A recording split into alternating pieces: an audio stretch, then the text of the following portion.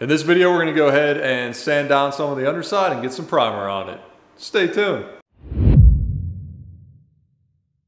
All right guys, so what we're gonna go ahead and do is work on the front half of the car, basically from here forward. What we're gonna go ahead and do is clean up all the welds that we have from the floor pan replacement plus the transmission tunnel. And then I have some cleanup and stuff to do around here. I welded this on my back and it didn't turn out too great. Right here's a spot where I mismeasured. So we're gonna go ahead and take care of that as well. And coming down here, Again, just clean up around here on these welds. We might have to just uh, touch up some welds with some more weld here, but that's okay. We'll eventually be putting another coat on the inside of the car as well. So we're gonna go ahead and get all this stripped down, get all the welds cleaned up, and hopefully hit this with some epoxy primer. I'm not sure if I'll have time to hit this with epoxy primer uh, before we post this, but uh, that's the goal. Uh, get the front half done and epoxy primered, and then we can move to the back half of the car. So I'm gonna go ahead and just start up in the front area and start working my way back. All right, so we're gonna go ahead and knock down all the welds that we can hit with this four and a half inch angle grinder. And what I like to use for this is a 40 grit flap disc. So let's get to it.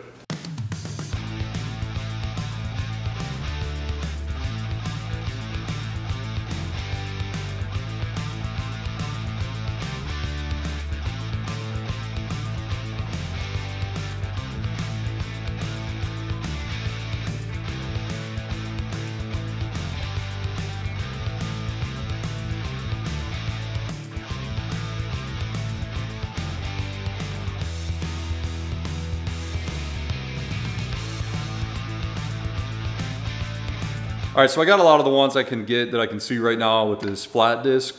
And when I was purchasing this flat disc, I came across this radial type flap disc. So it would allow us to kind of hold the grinder this way here. And I thought this would be really good to uh, clean out weld areas, especially where panels come together like we have uh, right here on the floor pans. So I'm gonna go ahead and swap over to this. This first time using this, it's a 40 grit radial disc. I'll put the information down in the description if you're interested.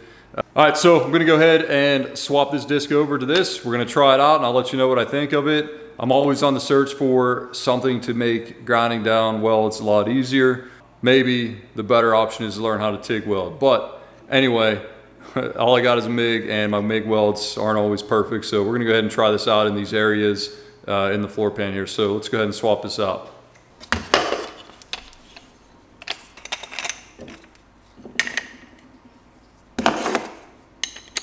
All right, so it's kind of interesting. It looks like we can use this on the flat side if we want, and then it also uh, looks like, you know, we can use it on this side. This is the reason I bought this. So let's go ahead and try it out on these floor pans. All right, guys, so these are the areas where I plan on trying this out, like kind of right in here. And then maybe even up here because it's a little bit, it's not flat, so I couldn't get in there with the uh, flat disc. And then, of course, we got these areas up here as well. Of course, we got the same areas down here. I didn't start down here yet, but while I have this out, if it lasts long enough, we'll go ahead and do these too.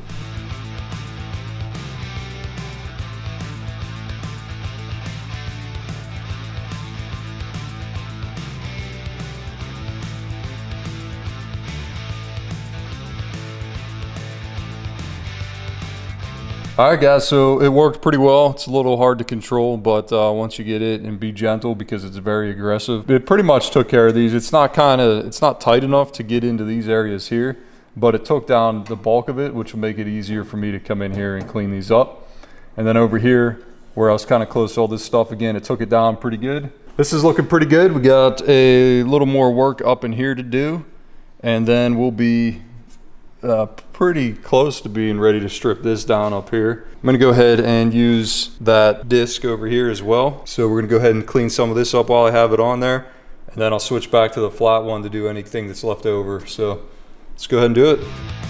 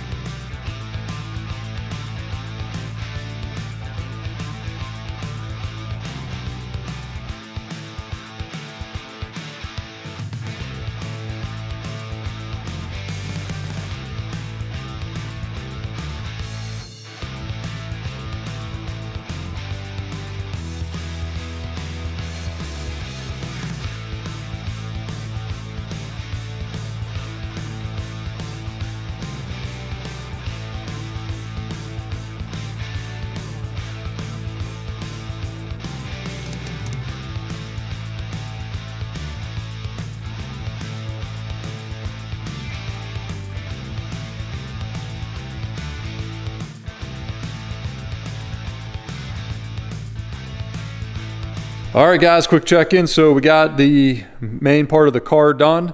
And I'm going to go ahead and prime this today because it'll be a little while before I get to the rest of it, and I'll explain why in a minute. Uh, this part is ready to go, ready for primer. I've cleaned it about four times so far. We'll do it once more before we prime.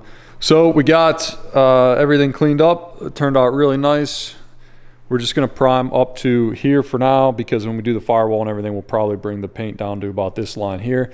So this give us a little bit of overlap. I went over the welds again on the subframe connectors. Uh, I did this on my back before and then I did some of it from inside the car and I didn't really like how it was. Uh, it didn't seem like I got that good of penetration with the welds on top uh, just because I could still see a little bit of uh, like the edge of the floor pan and stuff. So basically what I did is I just went around these all over again and got some much better welds in place. So definitely happy with that. I also got this piece taken care of here. Just kind of welded the gap shut. Not too difficult. So yeah, this is all ready to go. We're gonna go ahead and prime this. But uh, first, uh, let me show you what tools I use to do this. You'll notice I got everything out of the corners of all the little pieces and everything as well. Starting from left to right, up here we have cutoff wheel. I use that a lot to grind down welds. And if you guys remember, I had a I had a lot of welds that I had to clean up from the floor pan replacement and all that stuff. So uh, we use a cutoff wheel. This goes together here. This is a double cut burr and these are all the different kinds that you can use. What I use that for is getting in tight corners. So whenever I got welds, you know, in the tight corner that I can't get to with the cutoff wheel, I come in with this uh, double cut burr and find the right you know, shape, size, get in there and clean it up. So this works really good. Just make sure you wear your safety gear because it uh, sheds metal like crazy. And, you know, I even got some in my gloves and then it started, uh, you know, cutting me or whatever. So it's um, awesome tool, but definitely wear your safety gear. So next, I use this a lot. It's just an angle die grinder with a two inch disc on it. I use two inch sanding disc and three inch sanding disc. When I use the three inch sanding disc on the two inch backing plate, it gives you a little bit of flexibility so that when you're in the corner, you can take that three inch disc and kind of ride these curved areas here a little bit. It makes it nice and easy. And if you've watched my other videos, you know how much I like these. These are these Blackhawk strip discs and uh, I have a video on these, which I'll link to above. You can check them out. So I like to come in after I get most of the paint off with these to kind of clean everything up, but these also work really good at removing paint too. It's just, there's faster methods which is this here. So on all the wide open areas, I took this four and a half inch angle grinder with a 40 grit flap disc and took as much paint off as I could. Remember when you're using this, if you start seeing sparks move on, you're not trying to take metal away, you're just trying to remove paint. So I'd remove a lot of paint with this and then I would hit it with this on the angle die grinder and it worked really well. Then, you know, when I had my welds and everything cleaned up, I used this. This also works good at getting paint out of like spot welds and everything. So this is just a wire wheel. If you have a lot of uh, undercoating or like thick rubber stuff or whatever seam seal you got you got to get rid of, the twisted wire wheels work really good on the four and a half inch angle grinder for that. Uh, I didn't have any of that here, so I didn't need to use those. Lastly, I used this Harbor Freight uh, siphon sandblasting gun. Basically, that's how I got all the corners and everything clean. So basically take this and just kind of clean out the corners and everything. Yeah, guys, that's basically what I used to kind of strip this thing down so far. So this stuff all worked really well. The other thing I want to mention is that I don't know if you can see in there or not, but you can see some green there and whatever. I used uh, Eastwood's internal frame coating and basically you have, you know, this two foot hose here with a 360 degree spray end on the back of it or on the end of it. So what you do with this is you feed it up through these areas that you can't get to like I have here. And then this end here goes on the spray can and basically you'll start spraying frame coating and then just pulling this out nice and slow. And what that does is it'll get all the insides of that stuff and cover it with uh, some rust protection. So the other nice thing is that being that the car is on its side, that internal frame coating kind of came out the sides and you know, it kind of ran down these areas here. So that was nice. I know I got some coverage in there as well. So I hit these ones here, I hit these ones, and I also hit these areas here, but we got to talk about this. All right, guys. So the reason I stopped here is because I have some rust in the torque box areas. So basically this area here is fairly solid from what I can tell. except where we got the overlap in metal. So you can see that this is pretty much rotted out. And if we look up here, you can see that it's swollen and uh, just basically flaking apart. And I didn't realize what was going on here. I did see this stuff before I flipped the car. I knew this was here. I thought I would just be able to cut this out and put a patch in.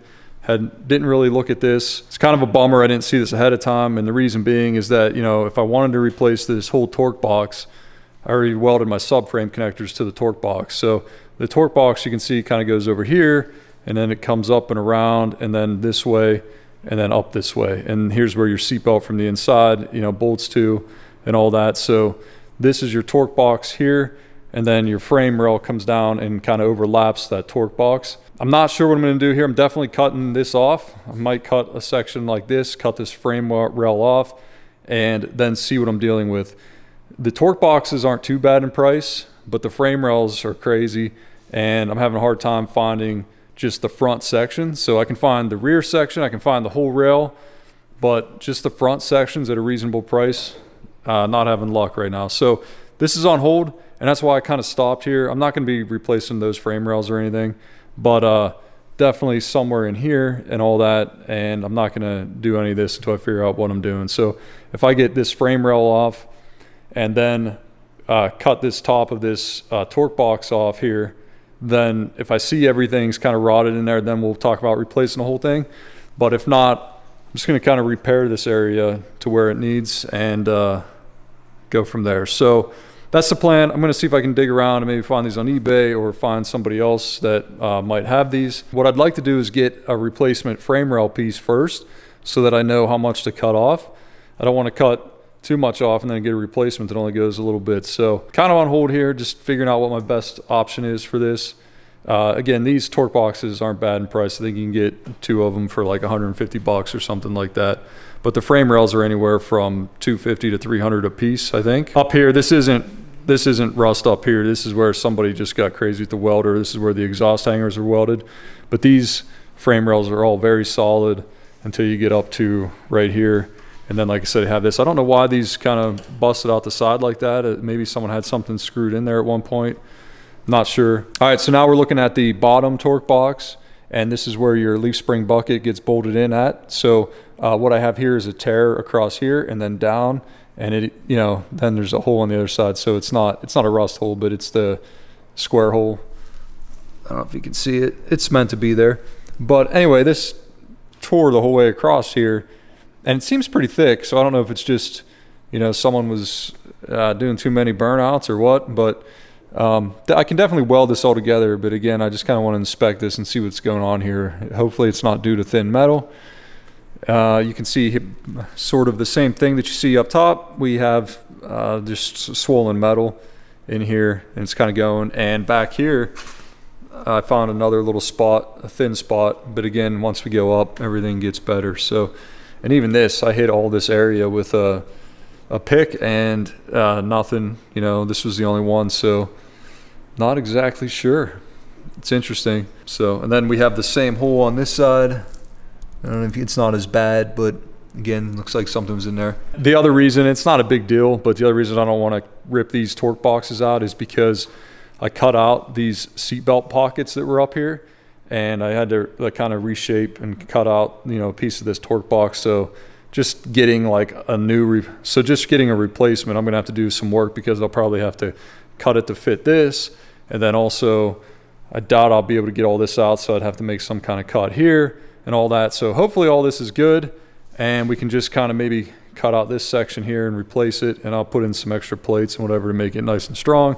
But uh, that's what we're going to be tackling next time. I want to get that done before I move backwards any further. So once I get that done, it'll be a piece of cake. I wish I would have seen this sooner. I would have tackled it sooner. It would have been just easier to probably drop the torque box and put a new one in and before I welded my subframe connectors and all that. But hey, that's what happens with these projects. You take a step forward and you get two back. So, but no worries, we'll get it. So I didn't sand any of this down or strip any of this yet. So again, we're going to tackle this, fix this up, and same with that side. Hopefully, no, if nothing goes anywhere, I'll just do one at a time, you know, and uh, we'll go from there. So, all right, guys. So I already wiped the car down about four times with Eastwood's pre-painting prep, And uh, I'm gonna go ahead and do it one more time and then we'll get to mixing up some Eastwood's epoxy primer and we'll get uh, two coats on this car. So making progress, excited. Once this bottom's done, we're on our way. So let's get to it.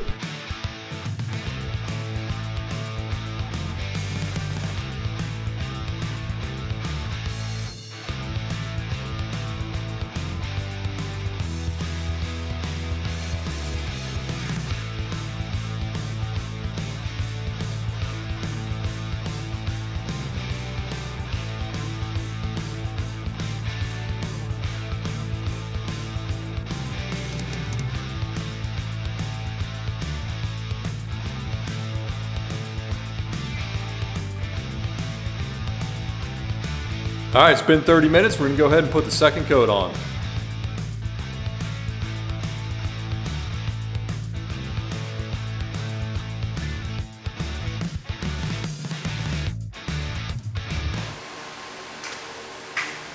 All right, guys, we got primer on this. This part looks great. Too bad we couldn't do it all. I may still do all this backside before I tackle those just because I got to figure out what we're doing there. So who knows? We'll see. Might get all that done. It's looking good. It's looking real good. So can't wait to get all this done. This is uh, it's kind of like a milestone getting all this done, right? It'd be like starting putting the car back together and everything, which would be awesome. Get it flipped back over, and start getting suspension and everything under it. All right, guys, that's gonna be a wrap for this one. If you enjoyed the video, hit that thumbs up button. And if you haven't already, please consider subscribing. And if you do subscribe, hit that notification bell to get alerts whenever we post new videos. Go ahead and put your questions or comments down below, and we'll see you in the next one.